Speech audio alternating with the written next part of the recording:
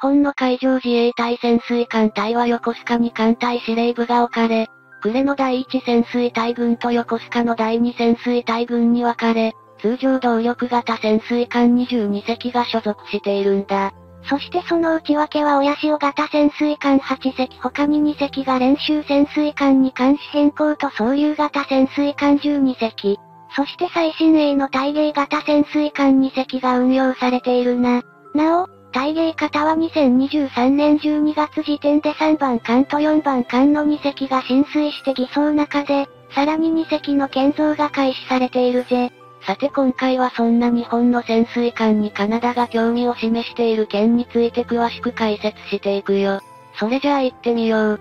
ゆっくりしていってね。日本の潜水艦は潜水艦の性能を示すのに最も重要な静粛性に優れていて、通常動力型潜水艦の中でも世界トップレベルとの評価があるほか、総流型の11番艦東流と12番艦欧流には、潜水艦に最適な性能を持つ高出力電池のリチウムイオン蓄電池が搭載され、世界中の注目を集めているよ。防衛省では、2014年4月1日に策定された防衛装備移転3原則に基づいて、これまでその運用が自衛隊だけに限られていた装備の輸出を図っていて、旧式で老朽化が問題となっているコリンズ級潜水艦の後継潜水艦の選定を進めていたオーストラリア海軍に対して、そういう型潜水艦の売り込みを図り、一時は採用される可能性が高いとする情報が出るなどして日本国産の潜水艦が初めて輸出されることに期待が膨らんだんだ。しかし、そういう型の導入を支持していた当時のアボット首相が退陣して、ターブル首相に交代するなどのオーストラリア政治情勢の変化に加え、日本がオーストラリア現地での製造や機密技術移転に消極的であることや、兵器の国際共同開発経験が乏しいことなどが懸念材料として受け止められたことなどから、2016年4月、フランスのシフラン級原子力潜水艦をベースにした通常動力型潜水艦アタック級が採用されたな。ただ、このアタック級についてはその後、建造を担当するフランスのナバルグループの対応が鈍いことなどによって契約が破棄され、オーストラリア政府はアメリカ、イギリス、オーストラリアの間で締結された安全保障協力オーカスの創設に合わせて、アメリカとイギリスがオーストラリアに原子力潜水艦の技術を供与する取り決めが交わされたことを明らかにしているぜ。このように、せっかく防衛装備移転三原則に基づいて防衛装備品を輸出することで、高い製造コストを下げようとしていた防衛省だったけど、ここまでフィリピンへの対空レーダーの輸出契約が成立したくらいで、完成装備品の輸出は進んでいなかったんだ。そのような状況下に、カナダ海軍が運用しているビクトリア級通常動力型潜水艦が老朽化したため、後継艦種の検討に入り、海上自衛隊最新鋭の大芸型に興味を示しているとの情報が飛び込んできたよ。カナダ海軍では2023年12月時点においてビクトリア級通常動力型潜水艦4隻を運用しているね。この潜水艦はイギリス海軍が1990年代に運用していたアップホルダー級通常動力型潜水艦で、2000年にカナダ海軍に売却され、ビクトリア級として再収益させていたんだ。基準排水量1870トン水上排水量2185トン水中排水量2400トン全長70.26メートル全幅7.6メートル喫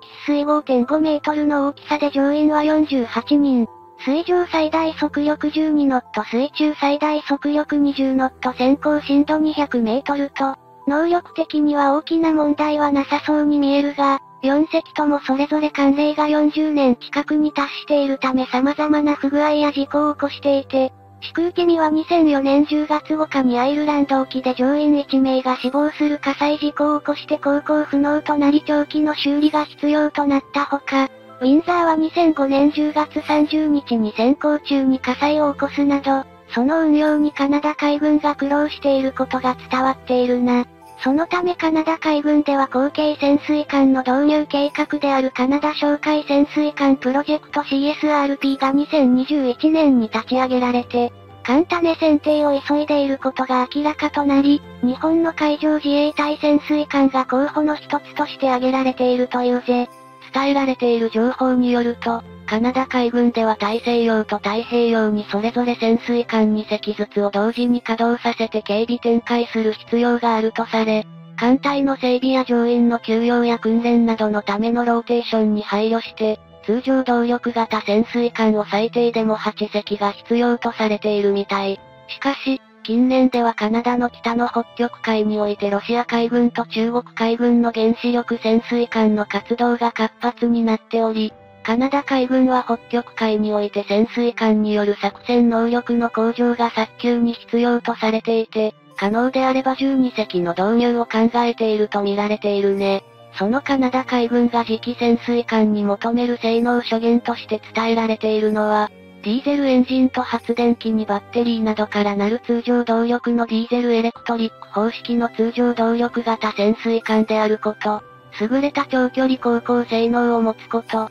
北極海においても運用可能であること、そしてアメリカ軍が運用している魚雷などの兵器及び戦闘システムの搭載が可能であることなどなんだ。これらの条件に当てはまる通常動力型潜水艦として、海上自衛隊の対芸型潜水艦が有力であるとする見方が浮上していて、カナダ海軍協会 NAC が刊行している海軍専門誌スターシェルの2023年冬号において、カナダ海軍の次期潜水艦候補の一つとして、対芸型潜水艦が挙げられているってわけ。海上自衛隊が導入している対芸型潜水艦は基準排水量3000トン全長84メートル全幅9.1メートル喫水10.4メートルで、ディーゼルエレクトリック方式としての蓄電池は、総流型の11番艦応流と12番艦応流から搭載されているリチウムイオン蓄電池だな。このリチウムイオン蓄電池は、これまでの鉛蓄電池と比べると潜水艦への搭載において様々な利点があるぜ。乗員にとって害となる水素ガス発生の危険がなく、鉛蓄電池の2倍以上の重量容積あたりのエネルギー密度と1.5倍以上の繰り返し重放電回数を持ち、さらに満充電になるまでの時間が短く、放電による電気容量の低下が少ない上に効率放電を長時間持続できるなど、潜水艦用の蓄電池として多くの優れた特性持っているわけだ。また、艦隊の外観上の特徴としては総流型と同様の X 字型が採用されていることが挙げられ、この X 字型舵は潜水艦の舵として多くの利点があることで知られているよな。これまでの潜水艦の舵は艦を解凍させるための垂直舵と、水中で艦隊の姿勢を制御する水平舵が2枚1組になって十字型となっているのが一般的で、この十字型火事では上下2枚と左右2枚がそれぞれ連動していたものを、X 字型火事では4枚の火事が独立して動き、それぞれが回答と姿勢制御の役割を担当することになり機動性に優れているというよ。さらに、十字型火事では垂直火事か水平火事が損傷した場合、連動している2枚が共に動かなくなってその役割が失われてしまうことがあるが、4枚が独立して機能している X 字型火事では1枚が損傷しても残りの3枚でカバーできることも大きな利点だね。また、潜水艦では海底などに着底して敵を待ち伏せすることがあるが、その際に海底に着底することで下舵が損傷する可能性があるほか、鋼に接岸する際に左右の舵を岸壁にぶつけて損傷する心配がないぜ。そして、艦隊の垂直軸と水平軸に対して45度の角度で装着されていることから、艦隊の幅からはみ出すことなく、舵面積を十字型舵より大きくできるため先行時の機動性が30%上昇するとされているらしい。それほどの利点があることが知られていながらそういう型まで採用が見送られてきた理由は、4枚の舵を独立して操作することが難しかったためなんだけど、近年の電子制御技術の発展によって操舵員が、ゲームで使うようなジョイスティック上の操縦桿による操作が可能となったんだ。なお、大芸型潜水艦では艦内の居住性が大きく改善されていて、女性の陸務員を想定した専用居住エリアが設けられていて、専用シャワー室や寝室が完備されているぜ。さらに日本とカナダの間で現在、軍事関連の情報漏洩などを防ぐ情報保護協定締結に関する協議が進められていて、これによって日本製潜水艦の機密情報などが守られるとされ、このこともカナダ海軍の次期潜水艦の候補に対芸型潜水艦が有力であるとする根拠となっているね。それじゃあ今回はこの辺で、よかったら、チャンネル登録してね。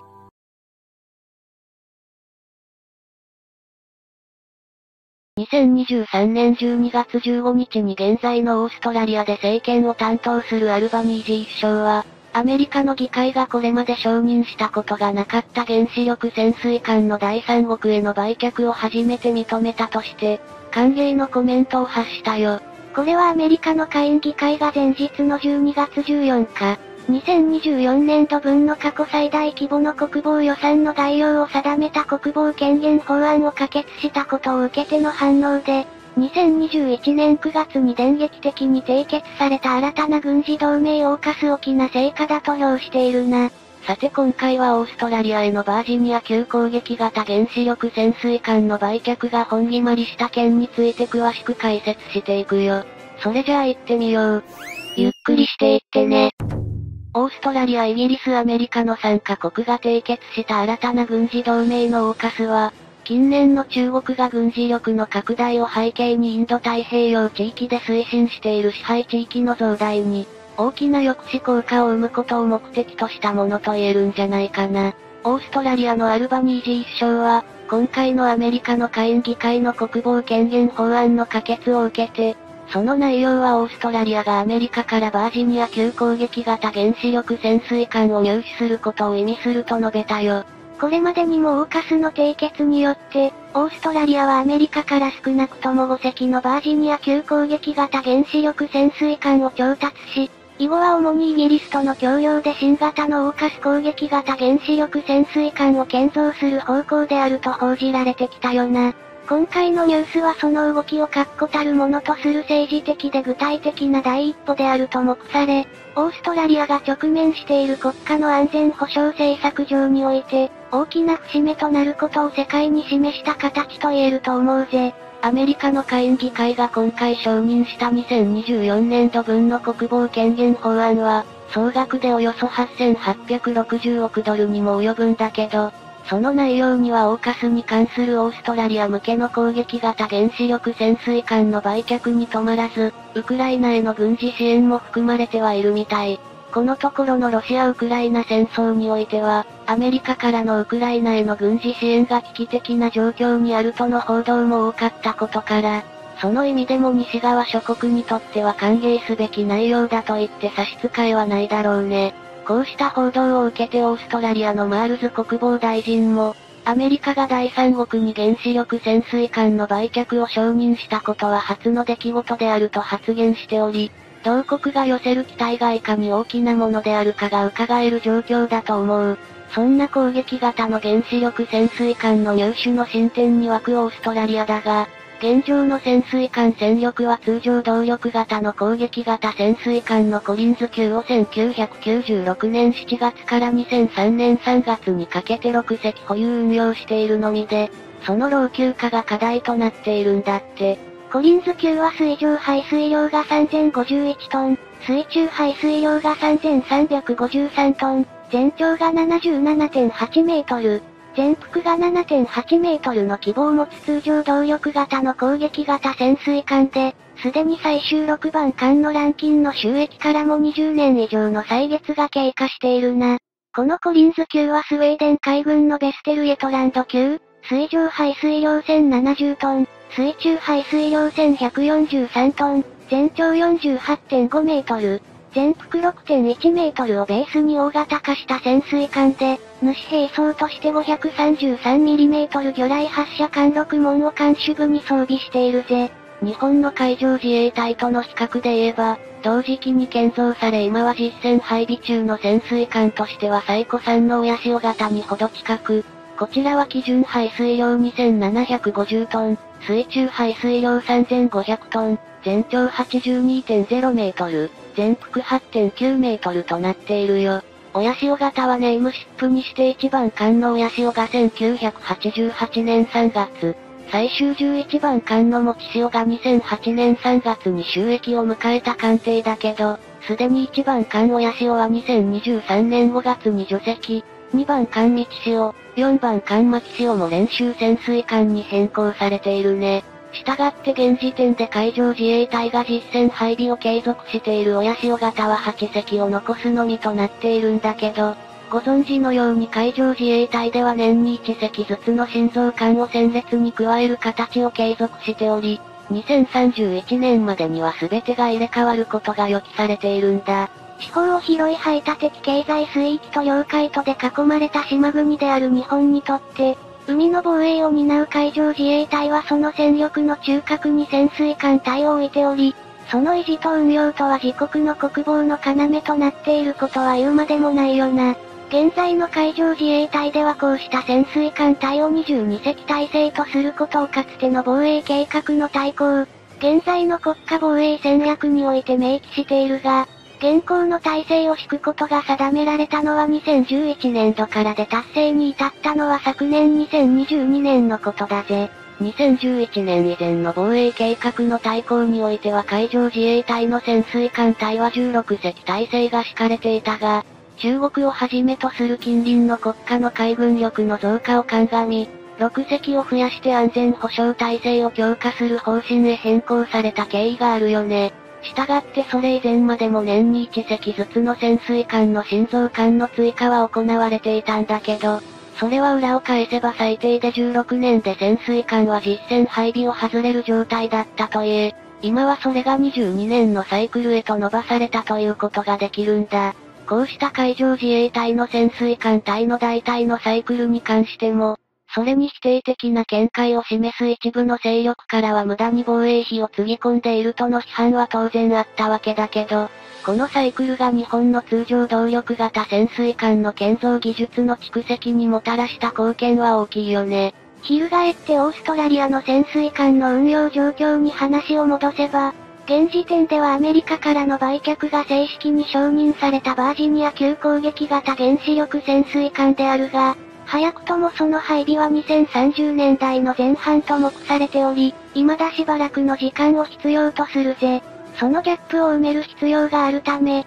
オーストラリアは現行のコリンズ級に近代化改修を施し運用期間のさらなる延伸を図るものと思われているが、そもそもコリンズ級は開発段階から様々な問題にさらられていた艦艇だったわけだ。コリンズ級は一言で言えば、潜水艦の要艇とも言える静粛性に大きな問題を抱えてきた経緯があり、他の不具合も少なくなく信頼性に乏しく、一時期は6隻中で稼働可能な艦艇はわずかに1隻という事態に陥った時期もあったほどだったな。こうした状況下、オーストラリアはコリンズ級潜水艦の代替を進めるべくプロジェクトを始動させ、2016年4月にはフランス、ドイツ、日本によるコンペの結果、フランスの提案を採用し新たな通常動力型潜水艦アタック級とすることを決定したよ。フランスの案によるアタック級潜水艦とは、フランス本国で計画中のシフラン級攻撃型原子力潜水艦の機関部を通常動力型に換装するという手の込んだもので、決定時には一部で懸念する声が上がったものだったんだ。当時の日本はこの時のコンペにはその時に自国でも最新型であった総流型を提案していたとされ、一時期はアメリカが日本の総流型の採用をしているとの情報もあり、初の大型防衛装備品の輸出成功化との期待も高まったよね。しかし当時のオーストラリアは国内の製造量の縮小傾向を政治的にカバーすることを、アタック級の採用にあたっても重視していたとも言われ、日本の場合は総流型は完成品を輸出する形しか提示できなかったとも伝えられているぜ。それに対してフランス案はオーストラリア国内での建造を条件に加えて提示を行っていたとも伝えられ、結果としてそれが大きな決め手となってアタック級の受注を獲得することに成功したとまで言われたほどだったな。結果として2016年のオーストラリアのこの判断は、猛烈な勢いで海軍力の増強を図り南シナ海を手中に収めようとする中国の動きの前に見直しを余儀なくされ、またアタック級の計画の遅延と費用の増大もそれに拍車をかけたと言われているらしい。こうした流れからコリンズ級の近代化改修に費用を投じるくらいなら、いっそバージニア級やオーカス級の収益までのつなぎに再度日本からの通常動力型潜水艦の調達の可能性があるのではないかとの声も一部で囁かれているみたい。ただし個人的にはこれまでの経緯を総合して考えてみても、今更日本が通常動力型潜水艦をオーストラリアに売却することが現実的にあり得るとは到底思えず、憶測の域を出ない見方だと感じているよ。それじゃあ今回はこの辺で、よかったら、チャンネル登録してね。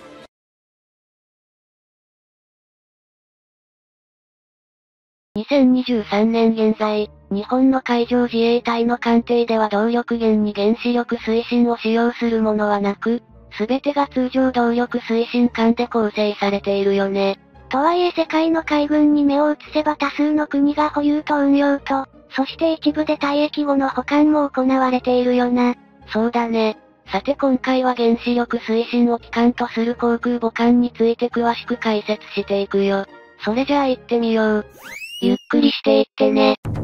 海軍における原子力推進を採用した艦艇といえば、原子力航空母艦や原子力潜水艦の2種類に大きく大別され、稀に現ロシア海軍のキーロフ級ミサイル巡洋艦などもあるとはいえ、その数の大半を前者が占めているんだ。そもそも原子力推進方式の航空母艦をこの2023年時点で保有運用している国はアメリカとフランスの2国のみで、前者が2 3つ90隻、ジェラルド・アール・フォード級を1隻、後者がシャルルド・ゴールと合計でも12隻しかないぜ。しかしアメリカは世界初の原子力推進型の航空母艦として1961年11月に収益させたエンタープライズを、51年後の2012年12月にようやく退役させたものの、原子炉の処理は3年後の2015年5月から着手した状態ってわけだ。このエンタープライズの原子炉の処理は、IHI ハンティントン・インガルス・インダストリーズ社が担当しており、同社はアメリカ海軍の原子力航空母艦に対する設計建造燃料交換が可能な唯一の造船企業なんだ。エンタープライズはアメリカ海軍のそして世界で初の原子力推進を採用した歴史的な艦艇でもあるため、その存在意義を踏まえて保存すべきとの見解も多いが、最終的な方向性は未定のまま、原子炉の撤去は2025年中に行う計画となっているよ。エンタープライズにはウェスティングハウス社製の A2W 加圧水型原子炉が合計で8機も搭載されており、その撤去には一度船体を切断する必要があるため、その後艦艇として復元するにも多額の費用が必要となってくるんだ。そのため、原子炉の撤去を終えたエンタープライズを実際に記念館として復元し、保存することの意義については意見が分かれている感もあり、実際に最終的な措置がどのように推移するのかの決定には未だしばらく時間を要すだろうね。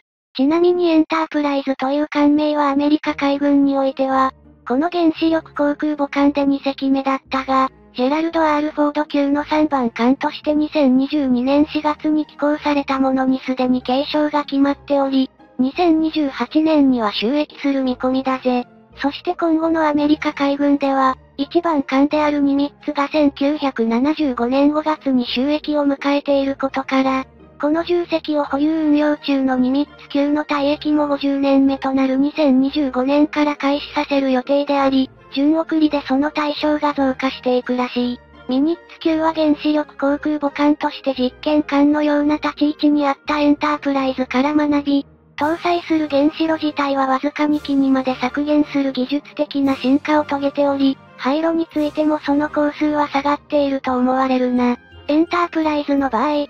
機も原子炉を安全に廃棄する必要があるため、少なく見積もってもおよそ1000億円弱、多ければその倍近い費用が必要になるとの試算も出されており、その額は優に通常動力型の大型艦艇を新造するのに匹敵するようだぜ。さて続いての原子力潜水艦であるがこちらは2023年現在、アメリカ、イギリス、フランス、ロシア、中国、インドの6カ国が保有運用を行っており、2021年9月に締結されたオーカスに基づき、オーストラリアがこれに加わることが確実になっているんだ。こうした中で西側諸国の中では、アメリカとフランスが退役後の原子力潜水艦から原子炉を撤去し、艦艇自体を解体する処分を行った実績があるんだけど、残るイギリスはといえばこれを実施し始めたのは最近なんだよね。それまでイギリス海軍は退役を迎えた原子力潜水艦を特定の地域に係留して保管する対応を継続してきており、原子炉の撤去や艦艇自体の解体にも多額の費用が生じることから、保管費用を負担しても後回しにしていた感があったんだ。前述したオーストラリア、アメリカ、イギリスの3カ国が締結した新たな軍事同盟たるオーカスにおいては、オーストラリアはまずアメリカ製のバージニア級攻撃型原子力潜水艦を少なくとも5隻は調達すると目されているみたい。その後、イギリスとの共同開発によって軍事同盟の名をそのまま冠したオーカス級を自国内で建造する方向で進めようとしていると思われるんだけど、やはりその退役後の処分にはイギリス流のやり方が有力視されているよ。すなわちオーストラリアでは今後取得した原子力潜水艦を退役させた場合、一定期間をこれから確保する予定の特定の場所に係留して保管し、叱るべき時期を経た後に最終的な原子炉の廃棄と解体を行う方向のようだな。オーストラリア側からしてみれば、南シナ海における対中国抑止策の一環として原子力潜水艦の導入に舵を切ったものの、使用後に自国で未知の領域である原子炉の廃棄や解体を行う手法も含め、先行するアメリカやイギリスからの入手を想定しているんだと思うぜ。さてそんな原子力や原子力潜水艦の退役後の原子炉の廃棄や解体についてであるが、この2万237年7月にアメリカの IHI ハンティントン・インガルス・インダストリーズ社はイギリスのバブコック・インターナショナル社との契約を発表したよ。今回のこの両社の契約の目的はアメリカとイギリスの両国において、今後も退役後に原子炉の廃棄や解体が必須となる原子力推進機関を搭載した艦艇に対し、その技術的に重要なパートナーシップを構築するものと解釈されているんだ。前述したようにアメリカ海軍は2025年以降にミニッツ級航空母艦を順送りで10隻もの原子炉の廃棄や解体を実施することとなるため、これらへの対応を見越してその能力を高め、かつ同盟国や友好国にもその技術を戦略的に供与する意図がある模様だね。こうしてアメリカとイギリスは、原子力推進機関を搭載した艦艇の原子炉の撤去や艦艇自体の解体でも、協調協力関係を強化する方針が感じられるが、すでに解体の実績を独自に持つフランスの今後の動きも気になる部分だろうな。フランスとしては急遽のオーカスの締結によって、本来自国がオーストラリアと進めていた、シフラン級原子力潜水艦を通常動力型に改めた潜水艦の建造計画を保護にされた経緯もあり、こうした分野でも独自路線を貫くのではないだろうかと予想されるぜ。さてイギリスの自国での原子力潜水艦の処理であるが、同国国防省の管轄下にある SDA サブマリンデリバリーエージェンシーが、この2023年8月9日から初の解体処理に着手したことが報じられているね。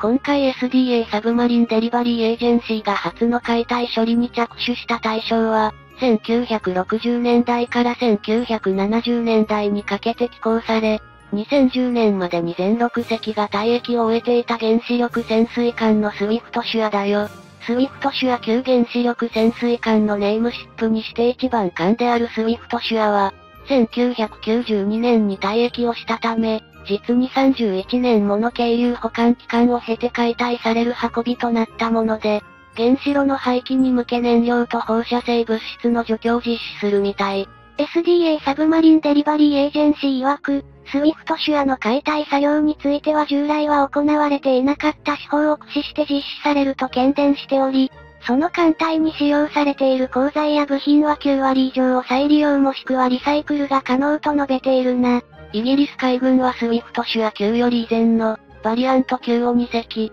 チャーチル級を3隻、トラファルガー級を6隻も全て経由保管しており、今回のスウィフトシュアは予定では2026年内に解体を終えるとしているんだって。それじゃあ今回はこの辺で、よかったら、チャンネル登録してね。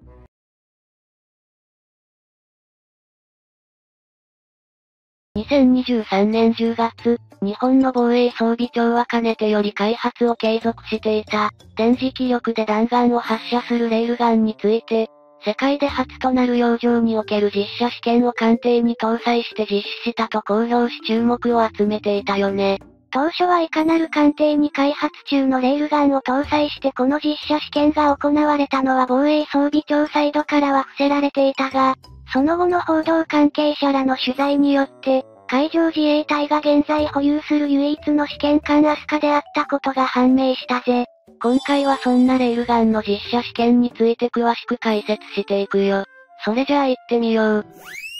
ゆっくりしていってね。海上自衛隊で唯一の試験艦であるアスカは、住友重機械工業者の裏画造船所によって1993年4月に寄港、1994年6月に浸水、1995年3月に収益を果たした艦艇で横須賀を母港とする開発隊軍技術評価開発隊に所属しているよ。この試験艦アスカは基準排水量が4250トン、満載排水量が6200トン、全長が151.0メートル、全幅が17.3メートルの艦隊に複数のガスタービン機関を組み合わせた、コグラグ方式の機関部を搭載、最大で出力4万。3000馬力、速度27ノットを誇るんだ。ちなみに海上自衛隊における試験艦アスカは、同体として初の司し階級の女性自衛官が乗り組んだ艦艇としても知られており、ジェンダーフリーの流れにも適応した経緯を持つことも知られているぜ。試験艦アスカは総建造費およそ278億円強がつぎ込まれた艦艇であるが、これまでにも海上自衛隊の並走面では新型対戦ロケットの丸7式 VL の試験や、新型単魚雷の人に意識魚雷等の試験を実施した経歴を持っているな。また2017年には地上配備型の人に意識地対艦誘導弾を艦載型とした、人7式艦対艦誘導弾の搭載試験にも用いられるなど、近年の海上自衛隊の水上戦闘艦に向けて欠かせない主並走のテストに用いられたことでも高明だと思う。こうした実績を考慮すれば、今回レールガンにおいてもその試験の舞台にアスカが用いられたことは必然であったと言え、当初防衛装備庁がこの試験実施を行った艦艇名を伏せた理由の方がむしろ不思議に感じられるほどだぜ。かつてレールガンの艦載化の試験を行っていたアメリカや、今も継続中とおぼしき中国では、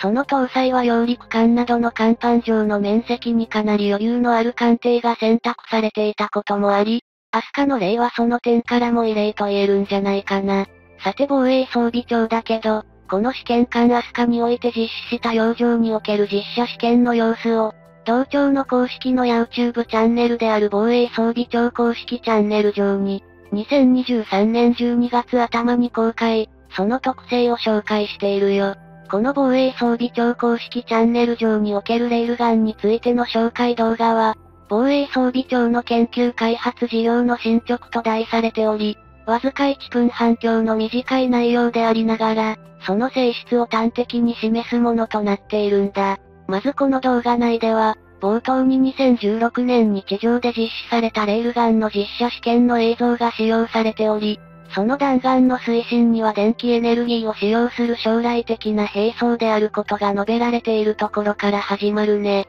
そして電磁力で弾丸を発射するレールガンの特性としてこれまでの策略を使用する火砲と異なり、弾丸の発射時の初速が非常に高速であること、飛躍的に射程処理が延伸されていることや破壊力が大きいことを利点として挙げているな。加えてこれまでにレールガンの地上発射試験の発射時の弾丸の飛翔の様子をスローで映し出しており、発射後に周りを覆うカバー内から飛翔中に分離した弾丸本体が、的である金属板を貫通する様子が収められているぜ。この金属板は通常の水上戦闘艦の複数枚の装甲板を想定したものであるとされており、これを撃ち抜くことは、対艦攻撃用の兵装として十分な威力を発揮するであろうことが期待されていると視覚的に示す内容となっているわけだ。動画では続けて試験艦アスカに搭載されたレールガンの洋上発射の実際の映像が流され、その後は CG で発射後の弾丸が飛翔し、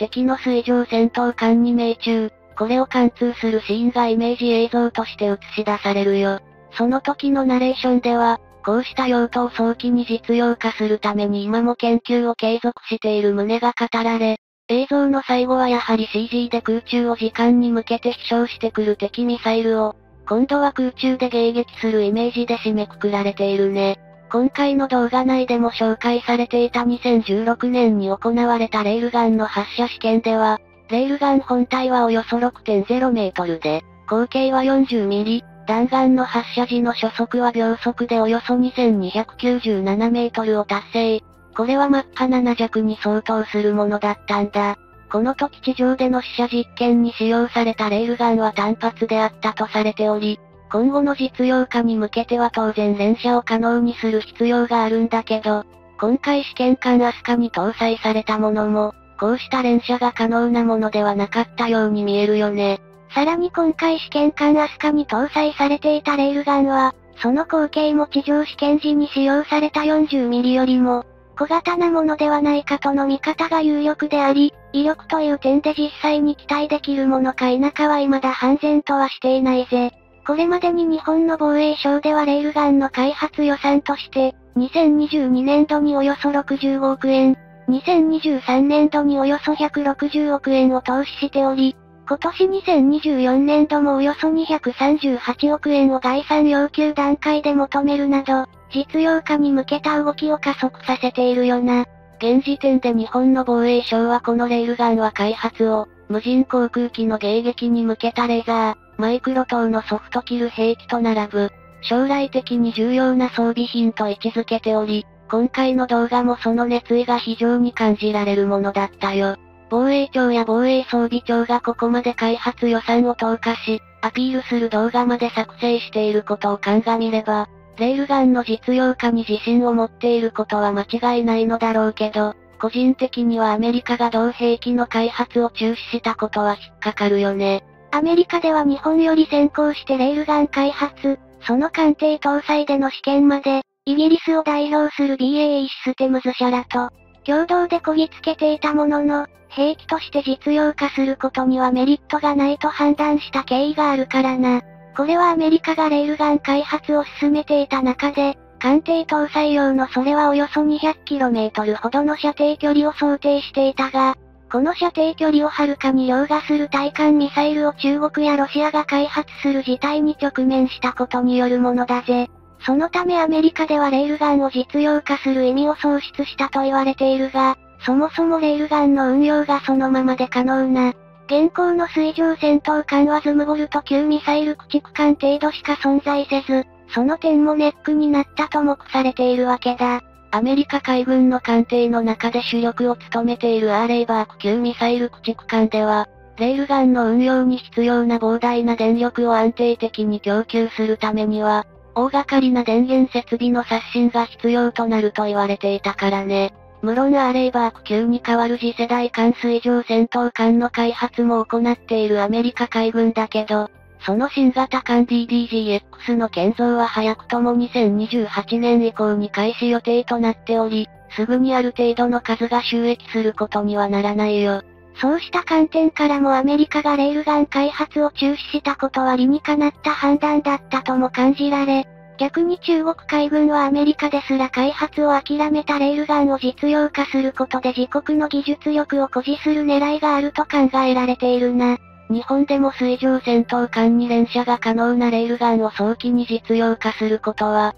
こうした状況下では困難と思われ、せめて電力供給は比較的な容易な地上用の対艦兵装として、まず実用化することが現実的なんじゃないかな。それじゃあ今回はこの辺で、よかったら、チャンネル登録してね。